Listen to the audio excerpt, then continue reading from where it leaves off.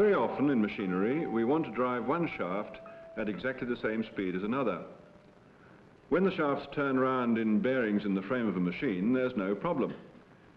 Gears can easily be used, or for that matter, chains, or belts, or possibly other devices. But when the shafts alter their relative position during normal operation, then the problem is much more complicated because there's no suitable fixed frame in which to locate the elements that transmit the drive.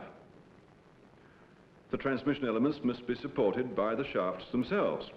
Then they constitute a shaft coupling, which for uniform speed transmission is by common usage called a constant velocity shaft coupling. A well-known example where uniform speed has to be transmitted fairly accurately is between the steadily rotating gearbox output in a car and the hopefully steadily driven rear wheels. Because the rear axle is on springs, there's some uncertainty about its position relative to the gearbox. Usually there's a multiple coupling in the form of two universal joints and a spline. But to transmit drive to the front wheels is another matter altogether. Because as well as the suspension movement, the steering, through perhaps 40 degrees either way in each wheel, must be allowed for. Simple universal joints cannot be used because they do not transmit sufficiently uniform speed. I'm not just going to describe constant velocity shaft couplings, but to relate them to a new general theory which establishes the necessary and sufficient conditions that have to be met by any coupling designed to transmit drive exactly uniformly from one shaft to another. Take first the common universal joint. This one is from a vehicle transmission. And here's a small one, essentially just the same. It consists of two hinges at right angles to one another, joining a central crosspiece to yoke pieces at either end that are themselves attached to the two shafts. And here's a cardboard model which has just the same kinematics and more easily demonstrates its behavior. The two hinges are now simply folds in the cardboard. And the crosspiece is now just a flat piece of cardboard or a plane.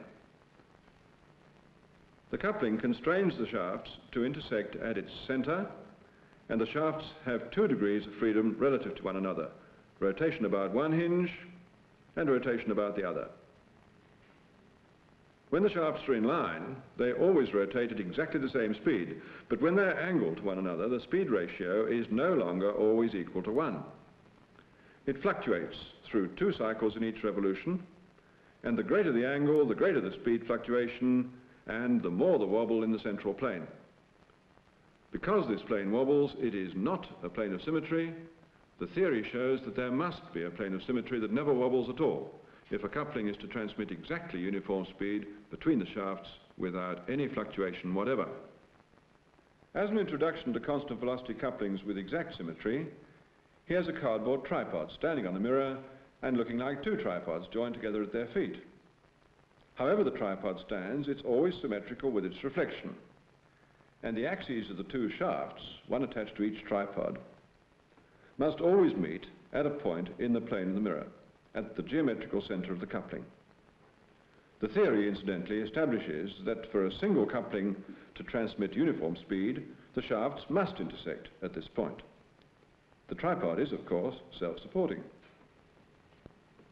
When positions are chosen for the three feet, then, as every photographer knows, a tripod is uniquely positioned but it does not stand in a unique position on only two feet.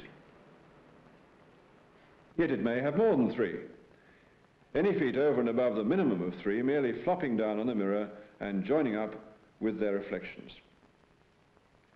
The tripod may even be very distorted, but its reflection is always exactly symmetrical with it, and a deformed tripod like this, when joined to its reflection, creates a constant velocity shaft coupling.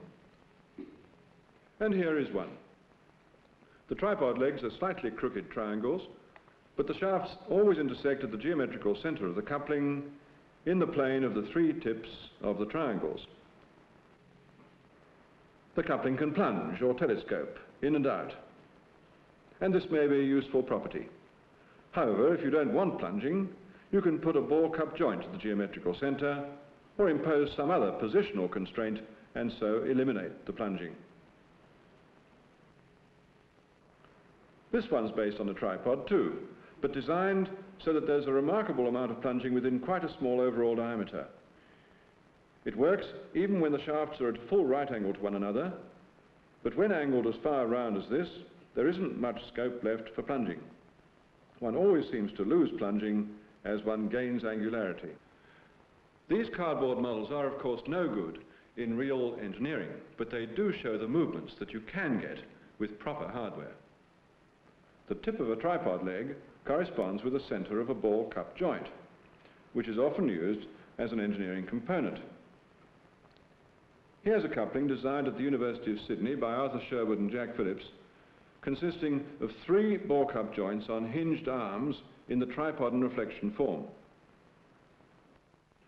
Although this one is quite new, it's closely related geometrically to many known couplings used, for instance, in front-wheel car drives, where the balls run in tracks.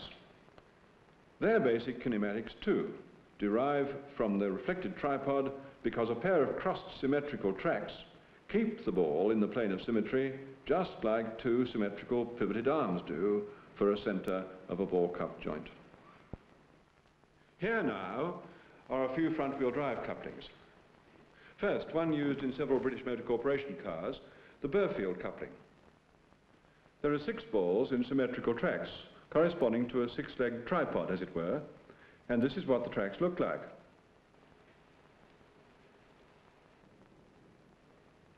Another one, named after Weiss, one of the very earliest that was ever designed in the 1920s, has four balls between left and right-hand tracks. Unlike the Birfield, this one can plunge. There are other couplings, differing in some details, some of much larger size, for rolling mills for instance, all using balls and tracks. One can also use two universal joints, placed close in series with one another, with a central symmetry preserving device concealed inside which succeeds in bisecting the angle between the shafts very nearly accurately, but not quite. This kind of coupling is very sturdy and sensible for front-wheel car drives, but it's not absolutely 100% precise.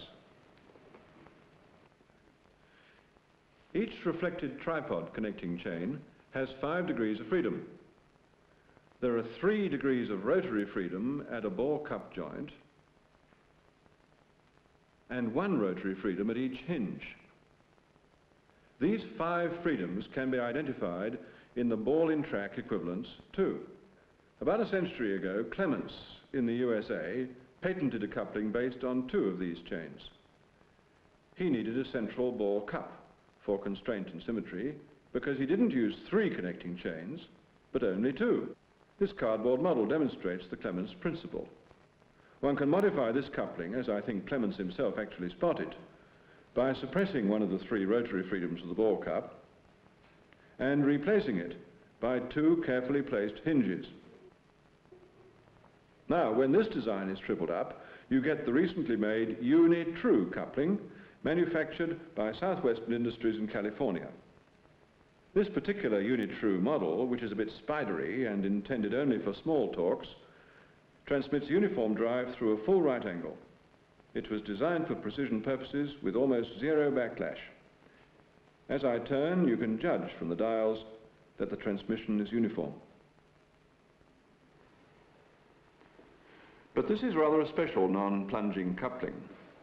If we look at the single connecting chain again, we can, without any restriction of freedoms, imagine the three rotary freedoms of the ball cup joint to be provided by three non-coplanar intersecting hinges. However, a plane of symmetry can still remain, even when these three hinges do not intersect at a single point. This connecting chain has the required five degrees of freedom in its five hinges that do not intersect at all.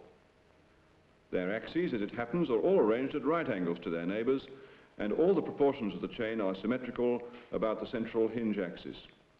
So this form of connecting chain can be used multiply to form a coupling and here is a model of one with three connecting chains. You can see the symmetry. the coupling always constrains the shafts to intersect at the geometrical centre, and it transmits uniform drive with plunging. Next, the theory reveals that there are many other ways of disposing these five freedoms in each connecting chain. For instance, the hinges needn't be successively at right angles, so long as one side is always symmetrical with the other side. One can even replace simple hinges with symmetrically disposed screw nut joints.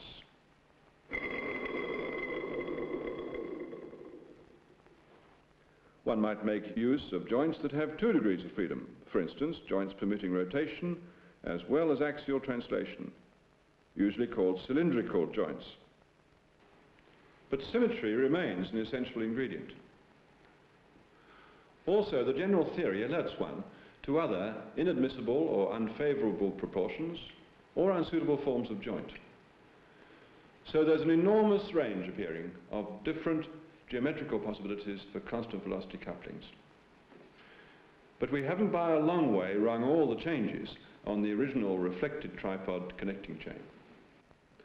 The ball cup can be larger, and there's no need to use the whole of the spherical surfaces. The centre of the ball can be as far away as we please in the, in the plane of symmetry. Eventually, when it's infinitely far away, we are left with flattened pieces of spherical surface which are just like two plates rubbing together or a brass-in-brass -brass sandwich. Three parallel hinges connected in series allow the same relative motion and are probably more attractive to a designer than a brass-in-brass -brass sandwich kind of joint. Here's a symmetrical coupling using three parallel hinges instead of a ball cup joint. It's tripled up and transmits uniform speed between angled shafts as expected. But as it turns out, the theory has been stretched too far. Look what happens when the shafts are in line. The coupling is now quite unable to constrain them to intersect at the geometrical centre. It has all become slack. Now we find that the shafts can freely move apart parallel with one another. And when they are apart, the coupling works between parallel shafts, again transmitting uniform speed ratio, and then the coupling maintains the shafts parallel to one another while still allowing plunging. This is perhaps rather unexpected.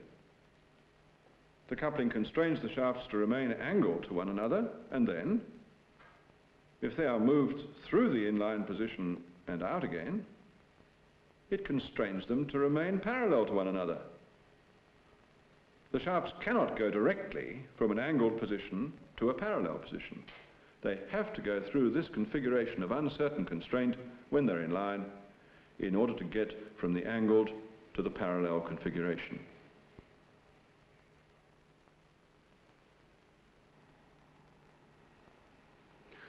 When we apply the theory, this curious behavior can be explained fairly simply. And thence we learn how to get over the problem and how to make the coupling work as a properly constrained parallel shaft coupling. Let me try to explain. When the shafts are in line, there's a plane of symmetry across the middle of the coupling. But two parallel shafts do not intersect, except at infinity. If then there is to be a plane of symmetry, and if this plane of symmetry has to pass through the point where the shafts intersect, any plane of symmetry in a parallel shaft coupling must somehow be imagined at infinity, not anywhere in the finitely accessible region. This then is the root of the trouble. When the shafts are in line, the coupling of itself cannot, as it were, distinguish between the plane of symmetry here, across the middle, and the other imagined plane of symmetry at infinity. For the coupling to work properly, we must resolve this dilemma and we can resolve it, if we want a parallel shaft coupling, simply by removing any local symmetry and at the same time unambiguously establishing an imagined plane of symmetry at infinity. This we can do by altering the settings of the mounting blocks so that each connecting chain is tipped over.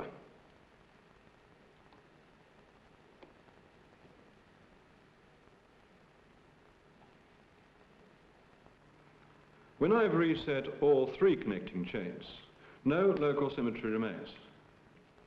And give or take a little looseness in the joints, the shafts cannot angle with respect to one another, but they are free to shift parallel with one another, and at all times they're constrained to remain parallel.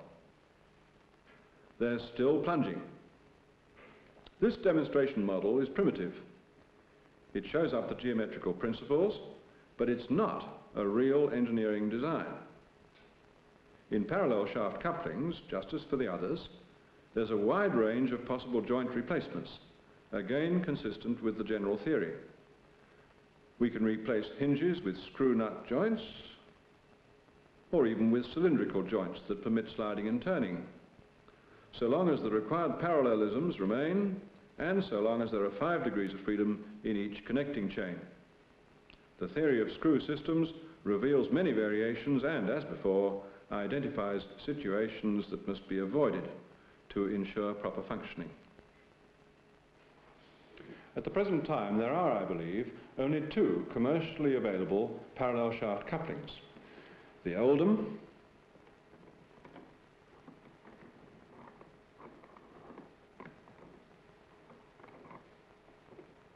and the Schmidt. Both non-plunging. Naturally enough, both of these comply with the general theory. Now, however, the theory reveals dozens or even hundreds of promising plunging geometries, all entirely new. But of course, to convert any one of these geometries into a realistic engineering design requires a detailed knowledge of the particular situation. There's no problem in any of the new couplings about balancing them, statically and dynamically, either perfectly or very nearly perfectly. Power couplings, particularly in automotive transmissions, seem to be quite well covered by existing rugged and compact shaft intersecting couplings that transmit uniform speed adequately precisely. But in precision engineering of one kind or other, there could be some applications for new couplings included in this wide range of newly revealed possibilities. The theory dictates absolutely firmly that there are no simpler forms of exact coupling. It is perhaps illuminating in these days of ever more complicated analytical techniques that a general theory for constant velocity shaft couplings has materialized from pure screw system geometry unaided by any algebra or other form of analysis. The success in this small area of design has reinforced my belief that basic kinematic geometry can probably be applied systematically in other engineering fields too and open up other potential designs. I am convinced that kinematic geometry deserves to be appreciated and more energetically pursued by more engineers.